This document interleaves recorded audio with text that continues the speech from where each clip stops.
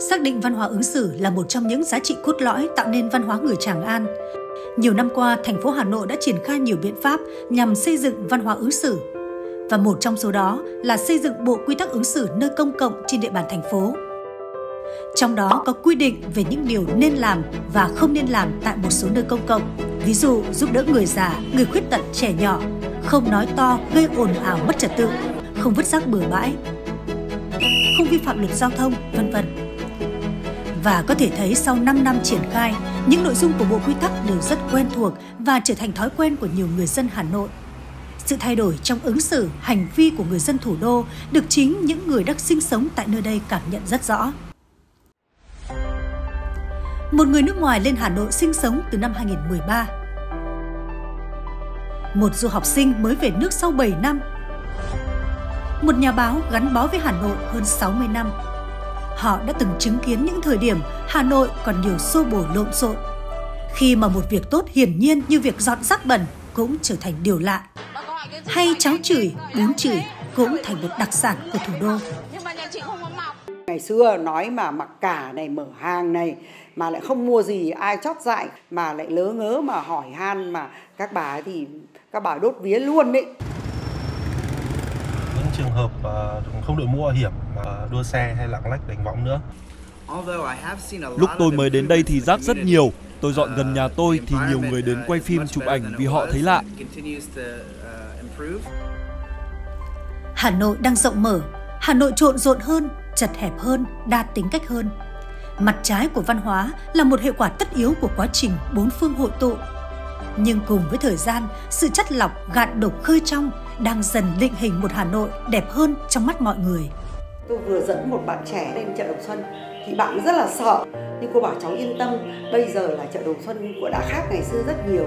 Cái buổi mà mua bán hôm ý phải nói là rất là thành công. Và đi đến đâu chúng tôi cũng được đón tiếp rất là niềm nở. Mình thấy các bạn trẻ hiện nay cũng, cũng rất ý thức khi tham gia giao thông. Các bạn uh, thường hay giúp đỡ những cụ già khi qua đường. Ban đầu tôi dọn rác một mình giờ tôi có sự hỗ trợ của cả cộng đồng Tôi cảm thấy thật tuyệt vời khi được tham gia vào một phong trào tích cực. Thật khó để tôi có thể mô tả đầy đủ cảm giác hạnh phúc này. Tôi sẽ không bao giờ quên nó. Không phải ngẫu nhiên mà Hà Nội thay đổi. Nhà báo Tiết Nhung lâu nay xây dựng một cộng đồng yêu Hà Nội. Còn anh James vẫn miệt mài với những hoạt động kêu gọi mọi người chung tay bảo vệ môi trường. Đó còn là quyết tâm của chính các cơ quan, đơn vị, địa phương trong thành phố với những cách làm hay, mô hình sáng tạo để áp dụng hiệu quả quy tắc ứng xử và thực tiễn tại địa phương mình.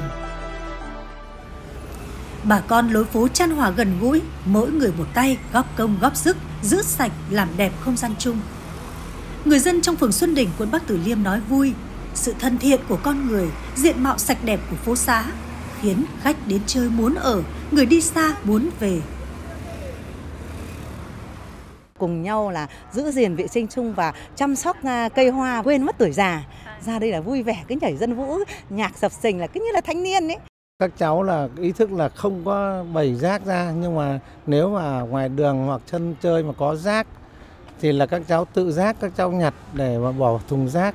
Ứng xử là niềm nở vui vẻ với nhau và sống ra tập thể dục hòa đồng vui vẻ Tuyên truyền và thực hiện hiệu quả bộ quy tắc ứng xử nơi công cộng trên địa bàn thành phố Hà Nội là nội dung quan trọng được các cán bộ dân phố của phường Xuân Đình tập trung liên tục trong suốt năm qua.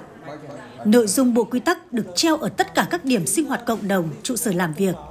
Tác phong ứng xử văn minh có sự chuyển biến rõ rệt từ chính quyền tới người dân. Qua một quá trình à, 5 năm thì đầu tiên là về cái tác phong, về cái tư duy về cái cái cái xử sự trong quá trình tiếp xúc công dân của cán bộ đã nâng lên. Cái sự tương tác người dân thì khi lên làm việc mấy ủy ban phường mà gặp cái sự tiếp cận đấy à, của cán bộ ủy ban mà văn minh lễ độ, niềm nở thì họ cũng điều chỉnh về cái thái độ của mình để cho nó phù hợp. Mô hình di tích văn hóa điểm đến an toàn hấp dẫn là một trong những sáng kiến của quận Bắc Từ Liêm xây dựng riêng dựa trên bộ quy tắc ứng xử chung của thành phố Hà Nội, góp phần tạo sức hút cho các điểm đến bên cạnh các giá trị văn hóa lịch sử vốn có. Kênh thông tin tuyên truyền đa dạng phong phú như là kênh tuyên truyền qua cổng thông tin điện tử của quận, tuyên truyền trên hệ thống thông tin cơ sở, đài phát thanh các phường, tổ chức các cái hội thi, hội diễn, thi tìm hiểu về cái tuyên truyền bộ quy tắc ứng xử và thi cái đường phố xanh sạch đẹp hàng năm. Mỗi xã phường, quận huyện đều có cách triển khai đồng bộ sáng tạo riêng.